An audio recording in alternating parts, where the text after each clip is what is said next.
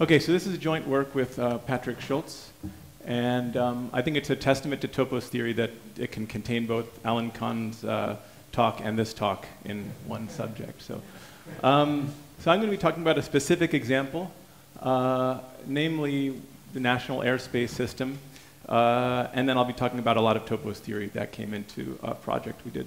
So we did a project with NASA, and the goals, so they, they have something, the US has something called the National Airspace, where all the airplanes are. And the goals of NextGen, which is the, uh, a NASA program, is they want to double the number of airplanes in the sky, but remain extremely safe. Okay? Because right now they have a problem about, about, one in every billion hours of flight time, and they want to keep that billion. And, and the safe separation problem is that planes need to remain at a safe distance from each other, uh, but they can't communicate directly. So they use radars, pilots, ground control, radios, TCAS. These are all various systems behaving in various ways, trying to keep planes from getting too close. And the thing is that each of these is using a different kind of, uh, uh, of time-based behavior. So the airplane is satisfying a differential equation. The pilot might be just some kind of delay of what goes on, what he sees or she sees. Uh, it turns, that's how they kind of think about it. Um, and uh, whereas the collision avoidance system, the TCAS, all that's a word I'll be saying a few times, collision avoidance system, uh, sends the signals move up, move down, move up. It just sends them whenever it needs to. So it's kind of uh, uh, just a signal as opposed to a differential equation. So we have a great variety of interconnected systems, and they need to work in concert to enforce a global property safety, safe separation. Um, and here's a little picture. You have two planes, plane one and plane two. Plane one sends plane two, I'm planning to move up plane 2 takes that information and also the radar signal and satisfies a differential equation, which changes its altitude, which uh, blah, blah, blah. And inside plane 1, you could zoom in and you would see that the onboard TCAS would take the other person, the other plane's TCAS command. It plans to move up. The radar signal says we're both at these altitudes.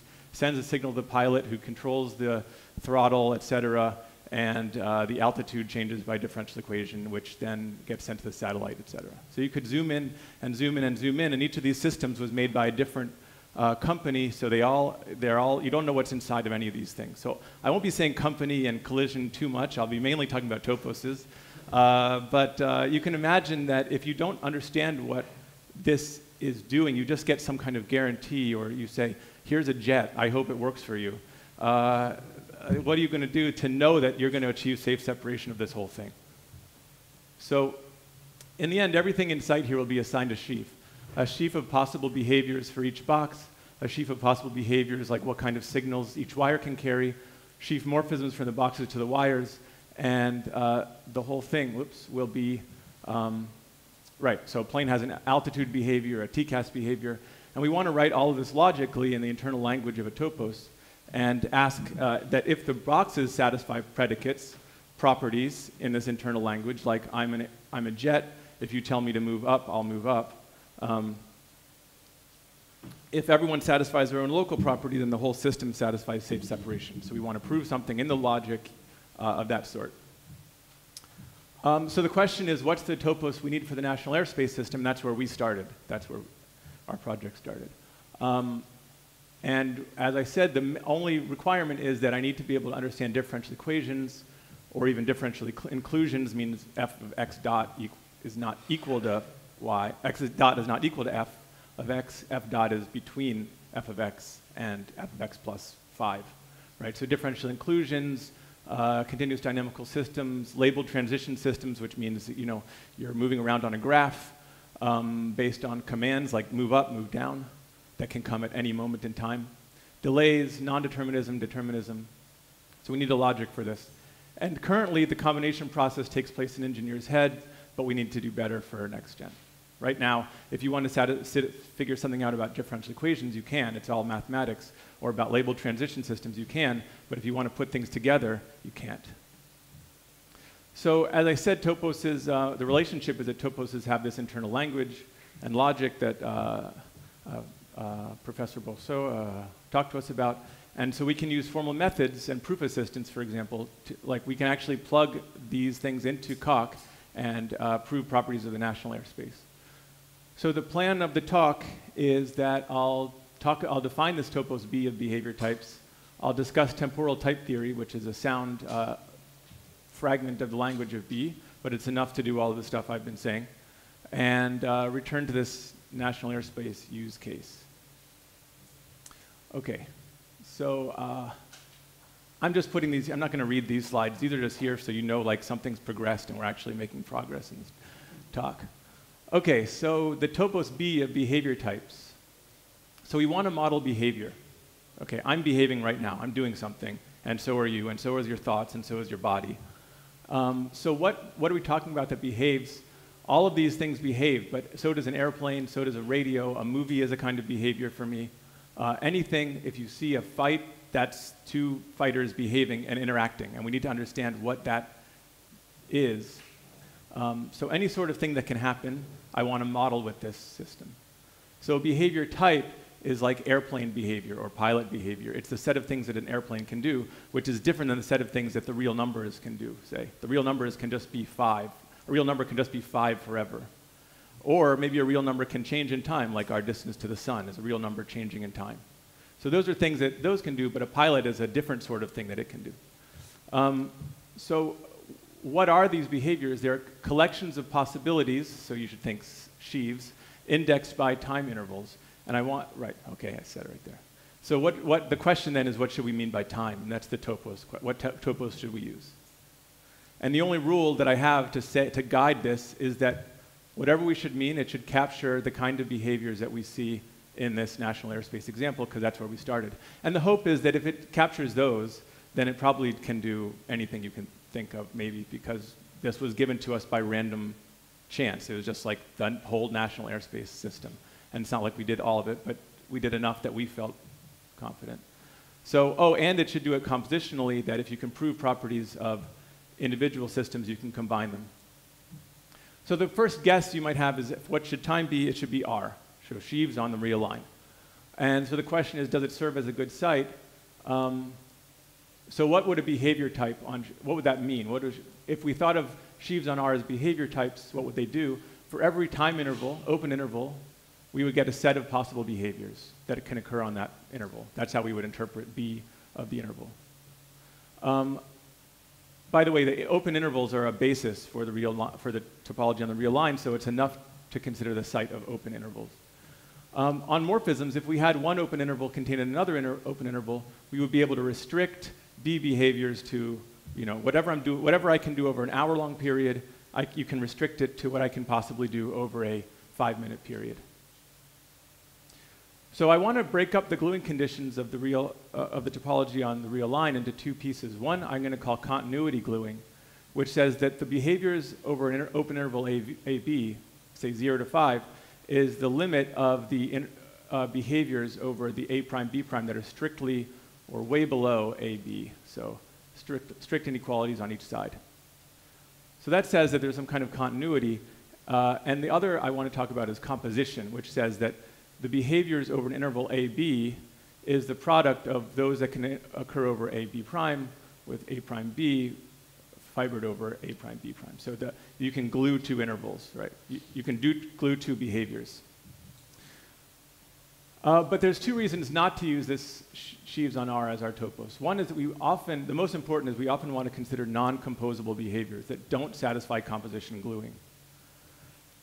So for example, what if I said, uh, your requirement is you must be roughly monotonic. I don't need you to be monotonic.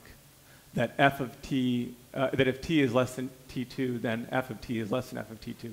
But instead, that you're just roughly monotonic. You're, if I check you on any interval bigger than 5, you've been monotonic. But um, so if t1 plus 5 is less than or equal to t2, then f of t1 is less than or equal to t2.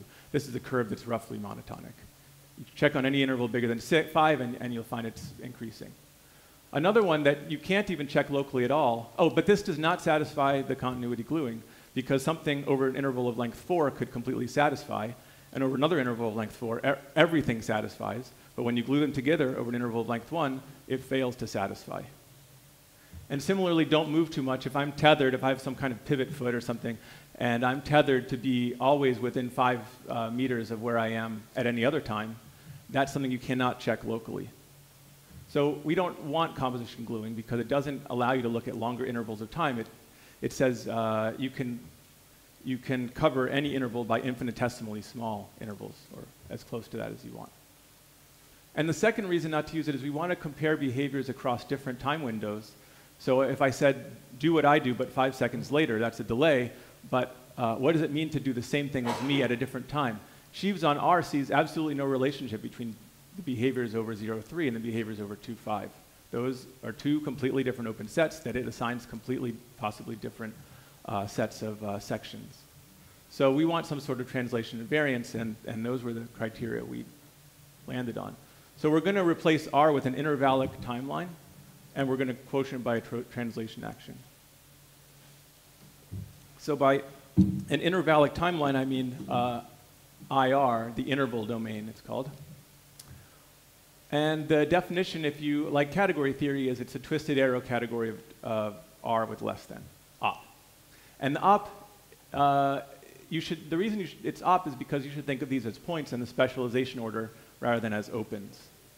So the points of IR, this topological space, which is Scott domain, if you know what that is, are closed intervals, A less than or equal to B. That's going to be one object in this twisted arrow category and we write that AB is less precise than A prime B prime, we're imagining that real numbers are like the most precise closed intervals and that we're approximating that. And so uh, AB is less precise than A prime B prime if indeed A prime B prime is contained in AB. So the real numbers sit inside of the interval domain as the maximal points. Well, there's an op here. I'm talking about less precise. And yes, it's strange, but you're supposed to think of this as specialization order, not, um, not open sets. So IR is a Scott domain, which means that its poset of points determines a topology. That's not what a Scott domain is, but it does. And how, how so? Well, there are adjunctions. For any poset, you can look at the ideals in that poset, and you can take the down closure uh, functor, and that takes any uh, point here and looks at its ideal of points below it. And that sometimes has a left adjoint, which we'll call colim, and that means uh, you would call that it has directed sups. Um, if colim itself has another left adjoint, you call that way below, and now you have a Scott domain. It says that every, um, every point in here has kind of a least covering, in some sense. A least ideal whose colimit is itself. So in this way below, AB is way below A prime B prime. If you work out what this left adjoint does, it says that um, an element is in, the, is in this ideal if, if there are strict inequalities on both sides. So if you remember, that's what I used for the composition, for the continuity gluing. And so Scott topology says take these as a basis of opens. Yeah, now it's up. but it, it just means um, a prime B prime is in the way up closure of AB if AB is in the way down closure of A prime B prime. This is the way that you always define Scott domains. Um, so this is our timeline, this category here, this topological space. So we can represent, if you have a hard time imagining what this is, um, we can represent points and opens in IR in the upper half plane. So here's a point, here's AA, here's BB, here's AB. And how did I draw them? Uh, well, you take the interval, you take its center and its radius, and you plot at that point. So the upper half plane, this point here rep represents this entire interval from AA to BB. And the open, the open set up arrow, double up arrow AB is all the stuff in this gray. So that's, that's a basic open set there we take the entire upper half plane and we take these as our basic open sets. And that is the topology. So what do you get if you look at all open sets? Well, they're arbitrary unions of these. And in fact, they have a nice characterization in terms of Lipschitz functions. So if you take these as your basis, what can you possibly get as unions of these? You get all of the one Lipschitz functions from the reals to the, to the po positive reals plus infinity. So what am I talking about? Suppose I have a one Lipschitz curve you could imagine it as unions of lots of these things here, because these are one Lipschitz, and any union of them will be one Lipschitz. So here's a, what, what open sets are in this, or what points are in this? all of the uh, points in the upper half plane, which represent intervals um, that are under this curve. Right, so for any topos of sheaves on a topological space, the open sets are eventually your truth values. So this will be a truth value for a proposition. I'll make more sense of that later, um, or maybe soon. So what is, what is a sheaf on IR? It's a behavior type occurring in the context of time, and I'll make that precise soon. But um, IR is our timeline, and X of AB is the set of, AB, of X behaviors that can occur over the interval AB. So we can restrict behaviors to subintervals. Um. Okay, so the truth values are Scott open sets. So if you take the area under any one Lipschitz function, it's a Scott open. And the truth of any proposition, in, in general, in topos theory, if, you, if you're not, uh, if you're new to the subject, when instead of asking, is a behavior roughly monotonic or is something true, you always ask when is it true or where is it true because your result is a, is a value in, the, in omega, in this um, subobject classifier. And so for us, when we say, when is a behavior satisfying rough monotonicity, we're asking over what intervals is the behavior roughly monotonic. Maybe we want it, we want it to be roughly monotonic over all intervals, but we get some answer that says one of these Lipschitz functions as our answer. It was roughly monotonic throughout this point, this area. Okay, so sheaves on IR will be behavior types in the context of time. But now we want to keep durations but remove the fixed timeline. All right, so we want, in order to compare behaviors over different timelines, we need some kind of translation action. So the reals act on IR by, for any real and any interval, you can add the real to the interval. That's pretty straightforward. So this induces a left exact comonad on sheaves on IR. And in, in, case you think that's like some, uh, I mean, that's, why am I saying that? any surjection of uh, toposes, what's called a geometric surjection, comes with a left exact comonad. So those are the same thing. Um, in other words, we are able to we are able to quotient by this action. So what is this monad? T of x, if x is a behavior type, it understands what you mean by behaviors over any given interval. And so if you ask, what can tx do over the interval ab? Well, it can do the product, give me any real number, and I'll tell you what x could have done over some shift of that interval. And so when you have a left exact comonad, you look at the coalgebras, and that in fact is the um, topos, uh, the quotient topos. So that's what we mean by B, that the topos of behavior types is this quotient. And in fact, B is an étendue, if you know what that is. If you don't, I'll tell you. Uh, it means that there's an inhabited object, which we're going to call time, and there's an equivalence between sheaves on IR and B sli sliced over time. So we can, we have sheaves on IR, I said was behavior types in the context of time. And in the internal logic, what it means to be this to be, be sliced over time is that this, you know, sheaves on IR will be everything you can say in that internal language when you have a time variable in context. Okay, so next I want to give a site presentation of this topos, because right now it's this topos of coalgebras, which might sound uh, kind of abstract, but the site presentation is pretty easy. And in fact, it's one that um, Lawvere also studied. No, he studied the same category, but a different site. So um, now take the twisted arrow category of the non-negative reals as a monoid. So that's a category with one object. And the twisted arrow category of it will have as objects real numbers, non-negative real numbers. And a map from one non-negative real number to another is a placement of the first inside the second as a subinterval. So that's just the twisted arrow category. It just says I have some R and S that when I add using the monoid to L prime, I get L. And that 2 there is not to the power 2, sorry. That is the footnote that uh, Lawvere also studied sheaves on IR on the same uh, category here. Um, and he was also interested in dynamical systems, but he used exactly the opposite sort of gluing we do. So Whereas we're using this continuity gluing to ensure a kind of continuity that behavior over some interval is completely determined by the tiny, you know, the infinitesimally smaller intervals inside of it. He said that he wanted uh, behaviors to compose so that um, you have a behavior, it stops at a certain point, and then if you resume at exactly the same state, uh, you can glue them. Anyway, so IR mod triangle is a continuous category in the sense of Johnstone and Joyal. They have a paper called Continuous Categories that uh, generalize Scott domains outside of posets. And that, left that double left adjoint thing I said before is exactly what you do in, in, for a continuous category in, in general. That's the definition. So um, there's a coverage uh, that they tell you in, the, in their paper, um, which just says that the, the intervals way below L cover L. So if you want to cover L, you just need things that are uh, strictly less on both sides. Of course, if, you, if things strictly less on both sides cover, then things that are less than or equal to on either side or even equal cover, but you don't need those for your minimal coverage. So Johnstone, instead of talking about Joyal, uh, instead of talking about um, Grothendieck topologies, um, he talked about coverages, or at least that's where I learned about coverages, was from Johnstone. And there it's much less, many fewer requirements on what you need to set up a site.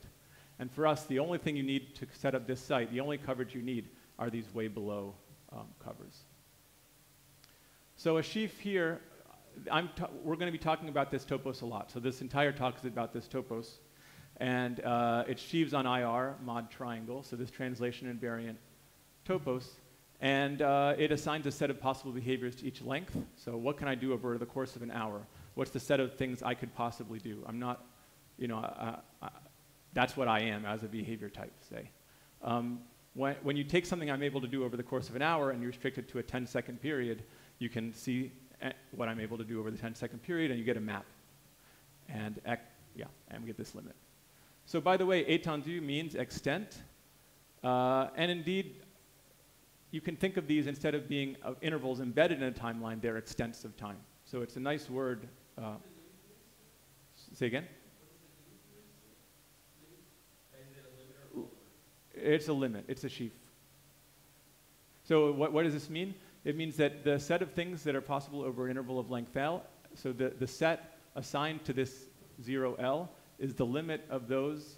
Uh, it restricts to anything smaller, and it's the limit of all of the B, uh, of x applied to all of the open intervals uh, that are strictly smaller on both sides, strictly interior on both sides. Okay, so yeah, so it's, uh, it's nice that the word extents actually really works in this case. Right, so the, the claim is that any sort of behavior can be modeled as an object here um, any sort of behavior that happens in time. You can ask me later if you have an idea of one that can't. I would be interested, but if we have time as we normally conceive of it, um, it, should be a, it should be a sort of behavior in this sense. So trajectories through a vector field, like this, you have some vector field. Uh, these would be the sections. So you'd say, over the course of a six second period, this is the set of things I can do. Um, delays and delay differential equations, you have some graph and you want to walk through it uh, and that at random times you're just maybe you're allowed to take up to two seconds per arrow to traverse this graph, uh, or you're, you have to do each arrow in, uh, instantly, or whatever. You make any decision you want, you'll get a sheaf on, on this thing. Um, and the subobject classifier is these one Lipschitz functions, just like before, because a, a locale, sorry, a, an étendue is locally a locale, which means that the subobject classifier basically has very much the same flavor as the original uh, one. So what we want to do is have a logic to define other interesting behaviors besides these. Um, and logical expressions, so people have kind of uh, um, sung the praises of the internal, internal logic, and I, I agree. Um, they're an amazingly convenient representation of things. So if I want to say, whenever I touch blue on this graph, um, I will remain on a blue edge for at least five seconds. I can say for all t colon time, and I'll describe this symbol later, if at t equals zero, uh, I'm at blue, then there exists a real number between zero and five such that between r and r plus one, I'm also on blue. So what's good about that? First of all, we have these Kripke-Joyal semantics which allow us to, which I don't know if anyone's talked about in their course, but implicitly they did, we can take these um, logical expre expressions and just kind of uh, compile them down into, into statements about the sheaf topos, and I'll talk about that soon. So this says, if you give me a map from x to omega, like what it means for me to be blue, then I can give you a map from x to omega, namely this one here. So, and, and, of course, if I have a map from x to omega, then I get the subtype of good behavior according to P. All of the behaviors on that graph that satisfy this. So I said the internal logic is convenient. First of all, this is a very compact notation. In a second, I'll, I'll go through the Joyal cryptossemantics semantics in a, in a little more detail. Um, but this is a very compact notation for something much more detailed. Second of all, uh, this has precise semantics, so it means an, a one exact thing about a sheaf topos, or about maybe a map from X to omega. It's quite expressive, and it's readable in natural language. As you said, I mean, I can actually say for all time t, if at time equals zero, I'm blue, then there exists. You can read it. Um, and that's something that can be useful for people outside of topos theory. So they can actually use topos theory without knowing it if they have access to an internal language. Okay, so by temp so let's talk about temporal type theory and the internal language of a topos. So it does a lot of heavy lifting for you, this internal language. Here's the Kripke-Joyal semantics. Whenever you see for all x p of x, you can think for all opens u and all sections x in that open, p restricted to u holds. Whenever you see exists x, it says there is an open cover and a section in each one such that p holds on that open cover, on each element of that open cover. P implies Q when you, that one always means for all opens U. Uh, if P of U holds and Q of U holds, P of or Q, P or Q means there exists an open cover such that on each open piece, um, P of U or Q of U holds, etc. So everything you saw in this, um, in this guy here, of which a lot of those are showing up, you can't see them because they're hidden behind the modality I'll define later. Uh, these are each saying a lot of, you know, a lot of things about open covers and about restrictions, etc. By the way, in B, all of the covers are filtered, so OR degenerates. Um, I haven't seen this written down anywhere, but if, if you've got a site where your covers are filtered, then OR degenerates, which means you don't have to pick an open cover. You can actually just check it uh, on the whole open you're on. Okay, so for example, in any sheaf topos, you can use logic to define various Dedekind numeric objects. People often talk about the reals. Um, but I, I need other numeric objects besides the reals that are all of the same flavor. So when you start, in, in any sheaf topos, there's a, a, sheaf Q. It's just the constant sheaf, which means locally constant sheaf. Um, um, over any open set, it assigns a set Q or a product of Qs depending on number of components of your open set. So now what we do for Dedekind cuts, what Dedekind uh, invented, I guess, is that a Dedekind cut is a subset of rationals. And I want to think of delta as down, uh, the lower bounds for some real number. So for any q, I give you the set of, I can tell you, yes, that's a lower bound, or no, that's not a lower bound. But instead, omega, you shouldn't think yes, no. You should think where is q a lower bound? When is this rational lower bound? Anyway, so now we define these lower reals, uh, which in any topological space, when you look at what this, well, I think I'll get there in a second. Um, so the set of lower reals are the set of functions where there exists a lower bound, and for any lower bound, there is a slightly bigger lower bound. And if something's lower bound, then anything smaller is a lower bound for your real number. So this is what Dedekind wrote down. Um, and what I was about to say before is that the semantics are always nice on localic toposes. So suppose X is a topological space, then uh, this, the lower reals, as defined here, logically, this is completely logically, you use those Joyal-Kripke semantics, you compile it into sheafs, uh, into properties of a sheaf, and you find that that's exactly the sheaf of lower semi-continuous functions on, on, your, uh, on your topological space. So these kinds of things really give you confidence, or give me confidence, but it gives a lot of people who work with it confidence that if you write, if you write something down in the internal language, it will do what you want. Now, the, the, the caveat is someone also said it's extremely sensitive. So, for example, don't replace exists with not for all not, or something like that. You change something small, you may wonder which of these two is the one I really mean. Um, but you get to say what you really mean, and it will it will compile to something that you really mean. well, what you, yeah. So anyway, so we'll define the upper reals in exactly the same way. It's just that the, less than will be reversed. Um, these will be upper semi-continuous functions. I'll define reals with a hat or a, a bar on the top and bottom to be products. So these are just a pair of upper and lower bounds. These are called the extended intervals. And I'm calling all of these Dedekind numeric objects. They're some sort of numeric objects in the, in the spirit of Dedekind. The real numbers in, in the topos are a pair, uh, are a, um, an extended interval, so an upper and a lower cut, that are disjoint and that um, are what's called located. If you have any two rational numbers, one's the lower bound or the other one's an upper bound. Omega, sorry, omega is the subobject classifier of the topos.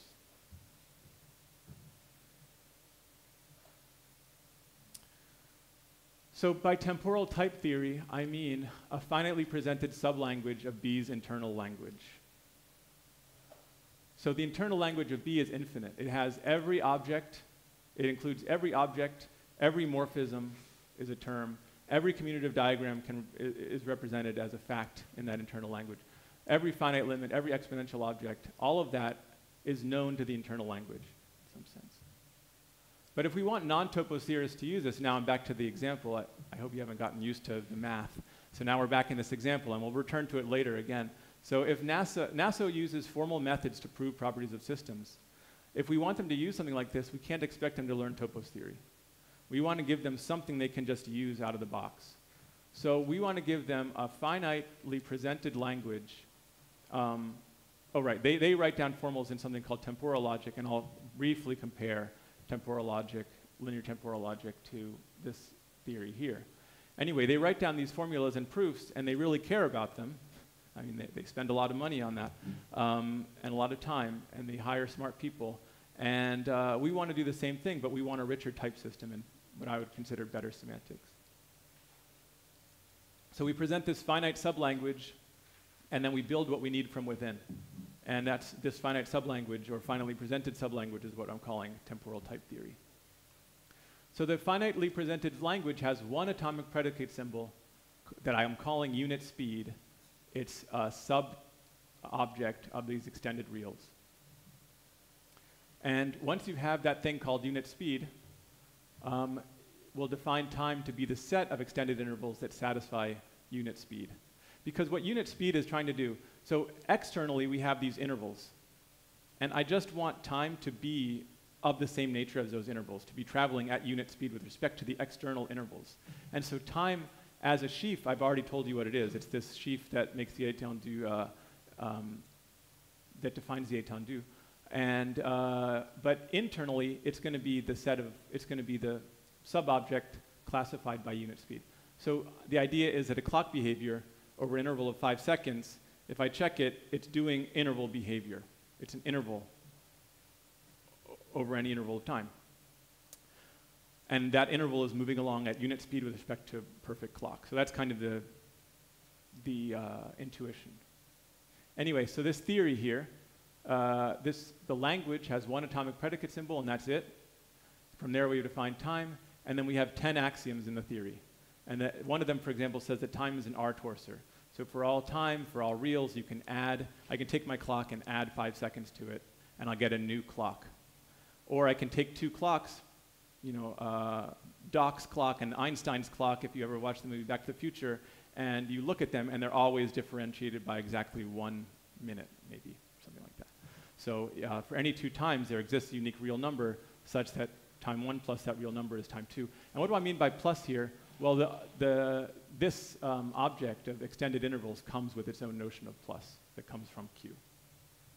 So I'm defining everything in terms of this internal logic, just things I can define internally once I have given myself one atomic predicate symbol.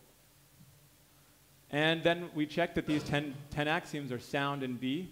So we already had this sheaf, and we check that the interpretation, that with this interpretation, the 10 axioms hold when you use a Kripke-Joyal semantics to write down what they mean.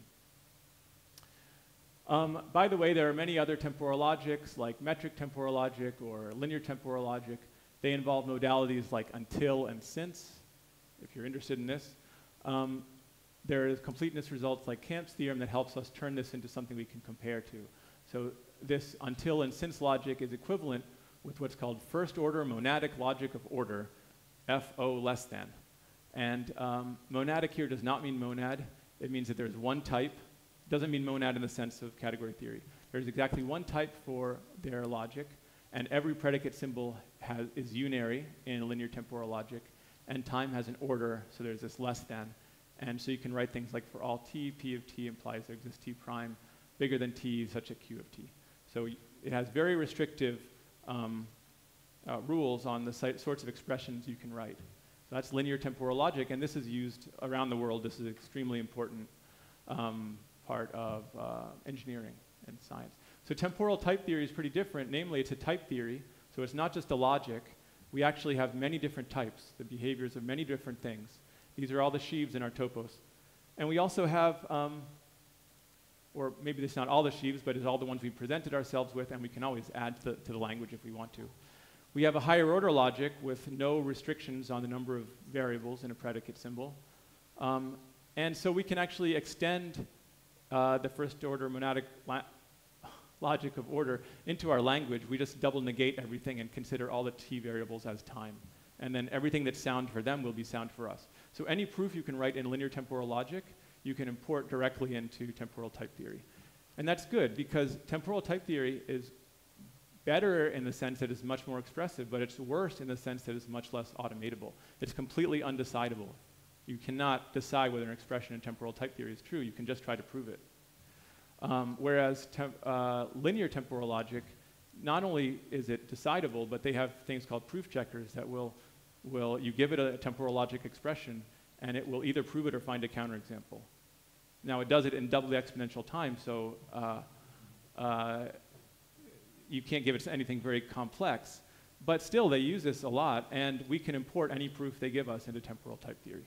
So at least um, we need, these toposes are so big uh, and so, you know, heavy in some sense that you need to come into them from different angles. I guess this is a lot of the, the bridge idea also. So if we can get a proof from linear temporal logic, we're definitely going to use it. Um, if we can get a, a, proof from differential equations, we're definitely going to use it because temporal type, finding that proof ourselves would be much harder in just this internal language. So there are a number of useful modalities, also called Lawvere-Tierney topologies or Grothendieck topologies, kind of, or um, local operators. Um, so modality, I call them modalities because that's what they call them in, um, in logic. So these are internal monads on the subobject classifier. And if you were, uh, figure out what that means, it's that, first of all, it's a monad and, and, and it satisfies this condition or monotonicity condition is equivalent. So P implies JP, JJP implies JP, and J of P and Q, if and only if J of P and J of Q. I think um, uh, Professor Borceux wrote that on the board. So there's a one-to-one correspondence between modalities, things you can write, uh, things of this form, and subtoposes of your original topos. That's pretty, to me, pretty incredible. Um, so here are example, two examples of, of of modalities in the context of time. Two different maps from omega to omega with a lot of decoration, and I apologize for that. So this down arrow, T, A, B, says that in the context of time, I can say that either P is true or the time is kind of bigger than A or less than B. And similarly, at AB will mean P implies that same thing implies that same thing. And if that looks weird to you, then um, you haven't uh, maybe studied too much of the internal logic of toposes because these are actually pretty common things to do. This is called the closed modality with respect to this weird expression here, and this one's called the quasi-closed modality with respect to this one here. Um, so they're hard to read, but they correspond to useful subtoposes. This at corresponds to the single point subtopos of one interval inside of, uh, of IR. So these are in the context of time, so they're occurring in IR. Um, this guy refers to the down closure, the closed set containing IR, containing AB.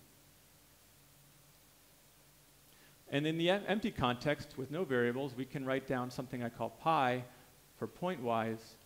Um, P is pointwise true if for all time at that exact point, when that clock strikes zero for all settings of the clock, P is true.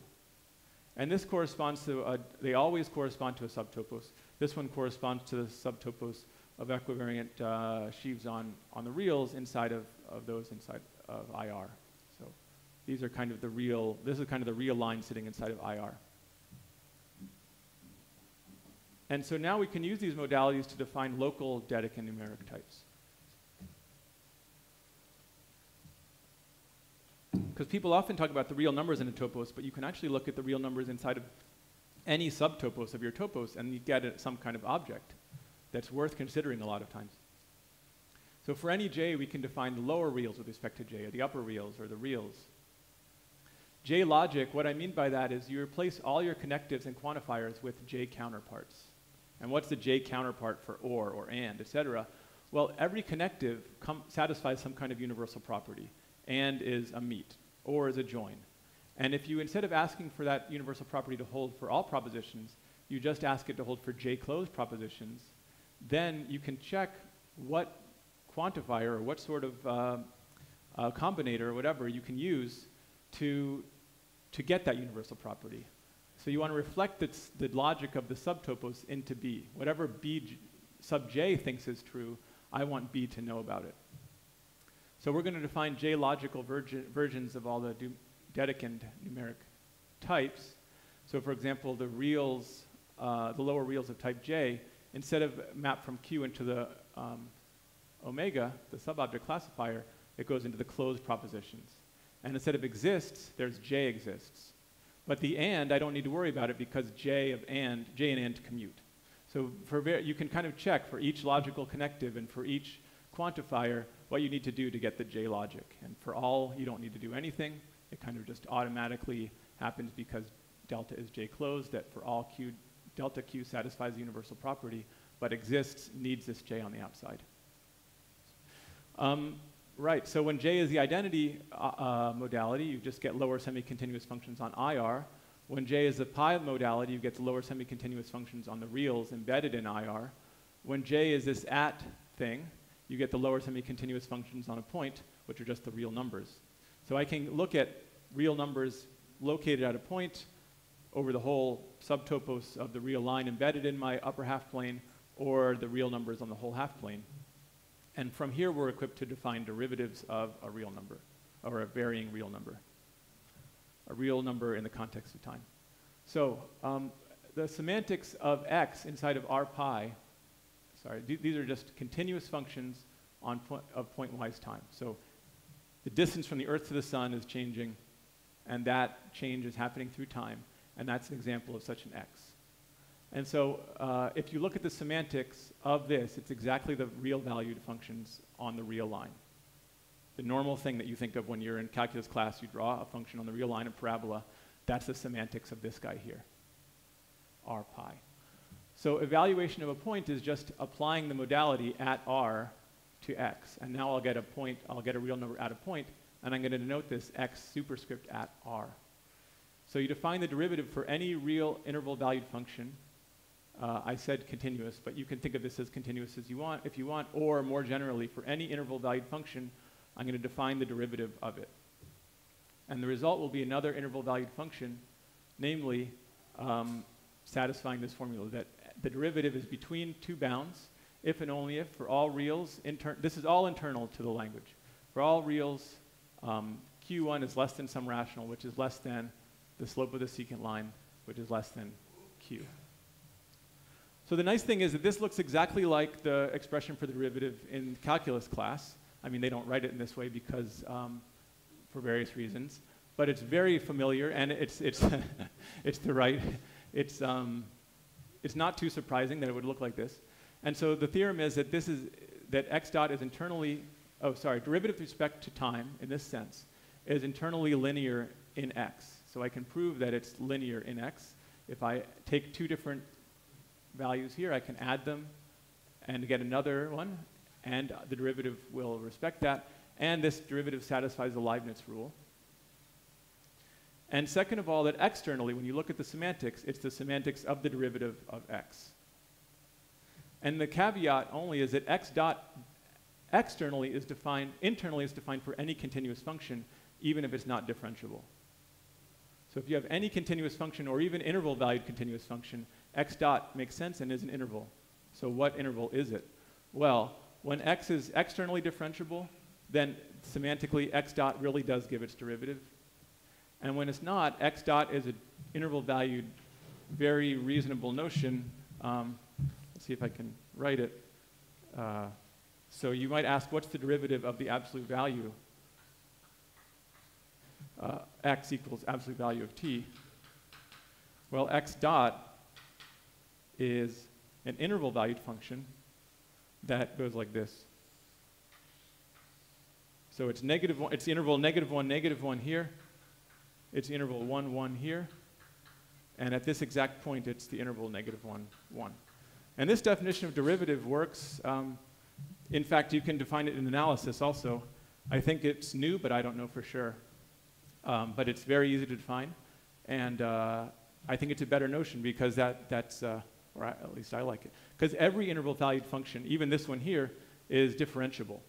That's differentiable. The result is zero for all time and then infinitely long interval at zero and then zero. So um, every interval valued function is differentiable and it gives you an interval valued function. You don't need to worry about differentiability. Any continuous, sorry, any continuous function is differentiable. Yeah. The which one? Yeah. Yes. Say again? Dini derivatives. Okay, I need to look that up. Okay, yeah. Okay, yeah, no, I think so, yeah. Yeah, that's probably right, yeah. Okay, so probably not new. Uh, it's probably the Dini derivative. But you're right, just a lin, linen soup on either side. But the point is that that always gives you some kind of reasonable notion of derivative. Um, so as a logical expression, derivatives work like anything else. So if you have a differential equation like this, these x dot, x double dot, you could put time in here, whatever you want. These are, this is now just a function, this is just an equation in the internal logic of the topos. x dot is defined internally to the topos, and if f is some function, uh, so is this thing. So a differential equation is not an external object anymore. Here, maybe A and B are continuous value functions of time, like what the pilot's doing to the thruster or whatever. So this is just an equation in the logic. We can use it with and, or, not exists for all, etc. You, you can combine it with any other property. And um, so now we've kind of internalized a lot of what we need. I haven't told you how to internalize labeled transition systems, but it's, you can internalize them without needing to kind of import them. So uh, to, the safe separation problem is, is kind of annoying. Um, basically, if I say I'm going to go down and you say you're going to go down, then we need to both like renegotiate, et cetera. So instead of we have safe separation for a pair of planes uh, where you have radars, pilots, thrusters, actuators, discrete signals, differential equations, and delays, I'm just going to talk about safe altitude for one plane. I just want to get safe. And I have uh, um, one radar, one pilot, and one thruster, but I still use, the point is, I'm still going to use discrete, continuous, and delay uh, to, to check something. So the goal is to, to combine disparate guarantees to prove this useful result. And you know, here's all the things we used. So you have time, you have an altitude, you have a TCAS saying to go up or go down, occurring at discrete instance. You have the pilot do, telling the plane what to do. You have a notion of safe margin, safe uh, altitude, a margin of error, a rational number that's the delay that the pilot is acting as. Um, and you have a maximal ascent rate for your plane. And you write down just some axioms. So this plane satisfies the property that, or these satisfy that the margin of error is greater than zero. The altitude of the plane is always non-negative. If the, um, if the altitude is bigger than safe plus margin, then the TCAS is saying to go up. And if A is less than that safe plus margin, the TCAS is saying climb. And um, if the pilot is saying level, then the derivative is equal to zero. And if the pilot is saying climb, then the derivative is equal to the rate. And finally, that um, some longer logical condition, but easily writable in what I've already told you, uh, that the pilot is just a delay of the TCAS. And from there, you can prove this safe separation, which says that um, for all time, if you start your stopwatch at zero, you can interpret it that way, then when the time is bigger than delay plus safe over rate, then the altitude is safe. So we use these differential equations to prove this. It's not difficult. Um, so that's about it. I just want to conclude So the idea is that we can use topos theory to integrate systems in a kind of big tent framework. By big tent, I mean things that can understand what you mean by differential equations, delays. Um, the, that TCAS thing was a labeled transition system. Um, we say what occurs over time intervals and how they restrict.